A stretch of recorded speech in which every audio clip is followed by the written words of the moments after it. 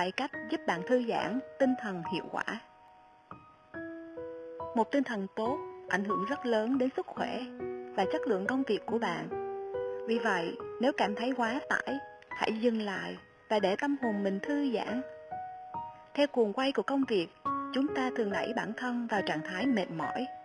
Điều chúng ta cần làm là để tinh thần thư giãn, đừng cố ép mình phải làm việc.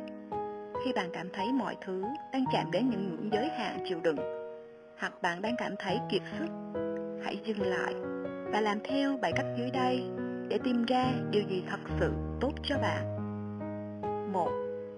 Giảm thời gian tiếp xúc với các thiết bị công nghệ. Điều tốt nhất để tâm hồn thư giãn chính là tránh xa các thiết bị công nghệ như điện thoại, máy tính sách tay. Bạn có thể cần chúng cho công việc, nhưng việc bạn dành thời gian hàng giờ trên điện thoại để giải trí là điều không cần thiết. Không chỉ làm tâm trí bạn thêm mệt mỏi, tiếp xúc quá nhiều với các thiết bị trên có tác động không nhỏ đến sức khỏe. Thay vào đó, bạn có thể đi ra ngoài đi dạo, hẹn hò với bạn bè hoặc đến một thư viện hay quán cà phê yêu thích. Một chút thay đổi nhỏ hàng ngày sẽ đem lại kết quả to lớn hơn bạn nghĩ. Hãy thử đặt điện thoại xuống và dành một buổi chiều đi dạo. Bạn sẽ cảm thấy tinh thần thoải mái hơn nhiều đấy. 2. Lắng nghe những gì cơ thể cần Một sức khỏe tốt sẽ giúp tâm trí bạn được thư giãn hơn. Do đó, một trong những yếu tố quyết định sức khỏe tinh thần của bạn chính là một chế độ ăn phù hợp với nhu cầu của cơ thể. Bạn không nên ép mình vào một chế độ ăn giảm cân khắc khe nếu điều đó làm ảnh hưởng đến sức khỏe và tinh thần của bạn. Nếu bạn thường xuyên có dấu hiệu mệt mỏi, hãy thử thay đổi chế độ ăn lành mạnh hơn, như tăng cường rau củ, trái cây. Bên cạnh đó là hạn chế nạp vào các loại thức ăn, nước uống có hại như nước có ga, đồ uống có cồn. 3. Dành nhiều thời gian ở bên ngoài Những người làm việc văn phòng thường có xu hướng ít ra ngoài hơn những công việc khác. Tuy nhiên, việc ngồi một chỗ trong thời gian dài sẽ khiến cơ thể ể oải, tinh thần mệt mỏi, kém tập trung. Vì vậy, bạn nên có thói quen ra ngoài trong giờ nghỉ trưa hoặc đi dạo, quanh nhà trước khi đi ngủ.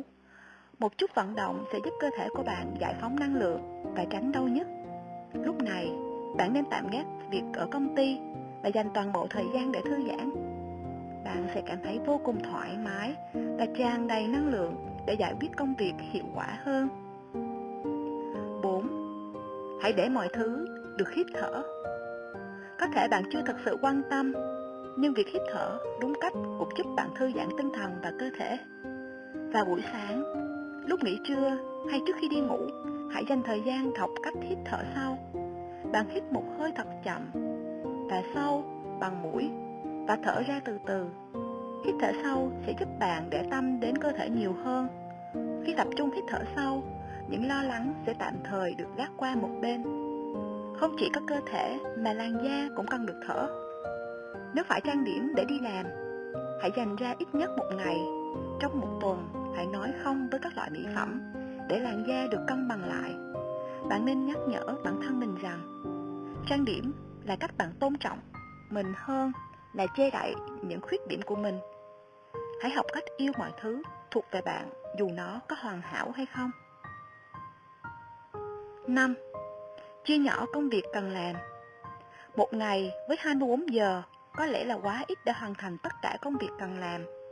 Do đó, bạn nên chia công việc ra thành từng bước đơn giản và bắt đầu từ những việc nhỏ Bằng cách chia nhỏ danh sách công việc, bạn sẽ dễ tập trung vào việc cần làm, tận dụng tốt nguồn năng lượng và sự chú ý cho công việc đó.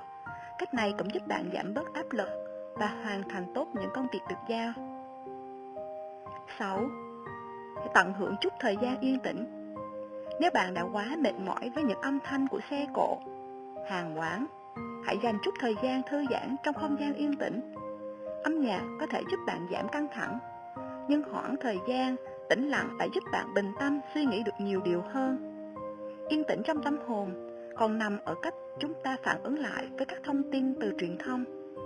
Ngày nay, khi có quá nhiều tin tức xuất hiện trên báo đài, tâm trí bạn sẽ bị ảnh hưởng. Vì vậy, Hãy tránh những tin tiêu cực nếu bạn không muốn bắt đầu một ngày mới trong tình trạng ủ rũ, thiếu sức sống. 7. Tạo không gian để kết nối với bản thân Bạn luôn tìm cách để kết nối với người khác, nhưng lại không thường làm điều tương tự với bản thân biết lắng nghe ý muốn của bản thân và dành thời gian để hiểu chính mình là bước quan trọng để tạo sự liên kết đặc biệt giữa cảm xúc và hành động. Công việc hiện tại có phù hợp với bạn không? Bạn đã sẵn sàng bước ra khỏi vùng an toàn của mình chưa? Hãy hỏi mình những câu hỏi và để tìm ra đâu là hướng đi thực sự dành cho mình. Có thể đó là câu trả lời chưa rõ ràng, nhưng việc định hướng được con đường bạn muốn đi sẽ giúp bạn giảm bớt áp lực và tự tin hơn. Tạo không gian để nói chuyện với bản thân, giúp bạn hiểu cảm xúc của mình và định hướng cho bạn trước những quyết định quan trọng. Cảm ơn bài chia sẻ ở trên trang web lly.vn